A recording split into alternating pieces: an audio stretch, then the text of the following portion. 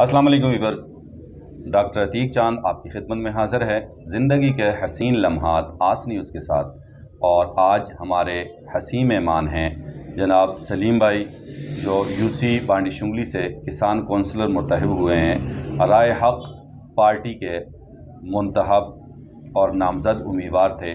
बाकी सलीम भाई की कहानी जानते हैं इन्हीं की ज़ुबानी। अस्सलाम वालेकुम सलीम भाई। वालेकुम अस्सलाम वरहमतुल्लाहि वबरकातुहू। सलीम भाई बहुत शुक्रिया आप हमारे पास तशरीफ़ लाए हमारे स्टूडियो में आए। तो कहिएगा क्या कहेंगे? माशाल्लाह अल्लाह ताला ने आपको कामयाबी दी। तो आपकी कामयाबी की कुंजी क्या थी?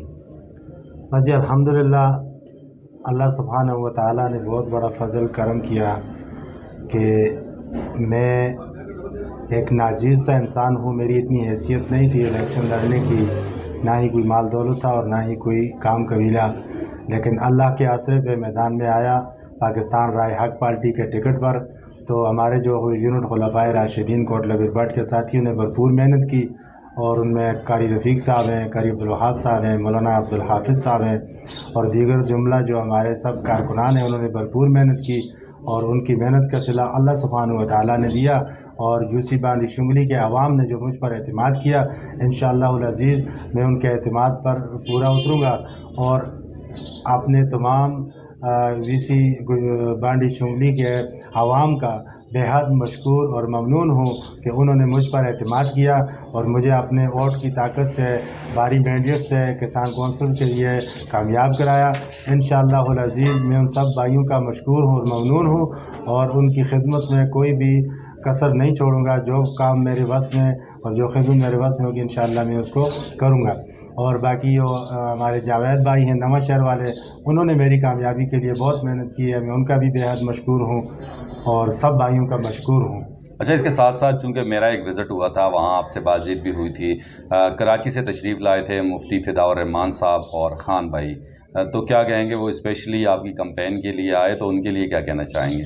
जी अलहमदिल्ला वो तो हमारे दरीना जमाती साथी हैं। तो जो, वो जो जब आए तो उनकी कंपेन से हमारा यानी पोजीशन काफ़ी मुस्तकम हुई है और उन्होंने भरपूर मेहनत की है। वहाँ हमारे जो शुंगली बांडी का जो पोलिंग स्टेशन था, वहाँ पर और हमारी कामयाबी में कलीदी किरदार अदा किया है। उन्होंने, मैं उनका बहुत मशहूर और ममनून हूँ। अच्छा सलीम भाई, क्या कहेंगे? ऐसे कौन से मसाइल हैं?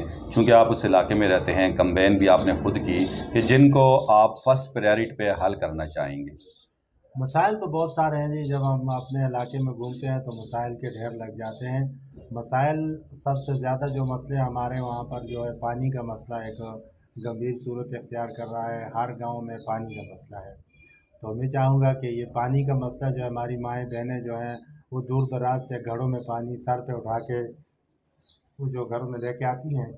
इसके लिए जो है, ये हमारी कोशिश होगी कि हम हर गाँव में, हर घर में पानी का जो मसला है ख़ास कर जिसको हम हल करें और हर घर में जो है पैप के ज़रिए, टूटी के ज़रिए पानी पहुँचाया जाए, ताकि ये हमारी जो माएँ बहनें दूर से पानी भर के लाती हैं, इनको सहूलत मिले।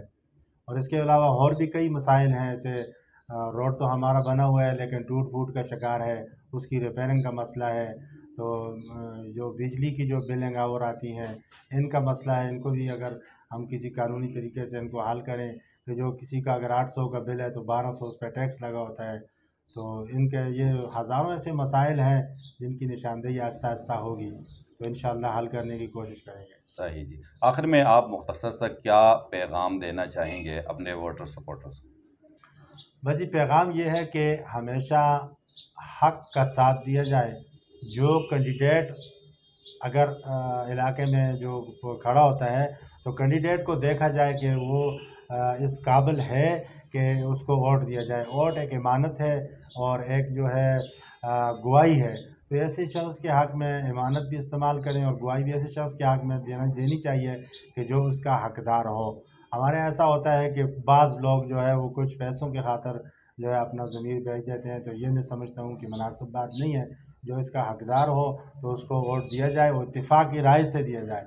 हर गाँव में जो है, ऐसियाँ दो आदमी, चार आदमियों की कमेटियाँ हों और उनका सरबराह जो है, वो गाँव का जो इमाम हो, उसका, उस कमेटी का सरबराह हो और उनकी बामी मशावरत से ये तमाम मसाइल हल किए जाएँ। जो भी गाँव का मसला हो, वो कमेटी के सामने आए और कमेटी वाले जो हैं, वो बल्दियाती नुमाइंदों के पास आएँ और वो अपने, जो जितनी भी प्रॉब्लम है, इस तरह सॉल्व कराएँ तो ये बेहतर रहेगा इन शाजी ठीक है जी बहुत शुक्रिया जी आज न्यूज़ को टाइम देने के लिए।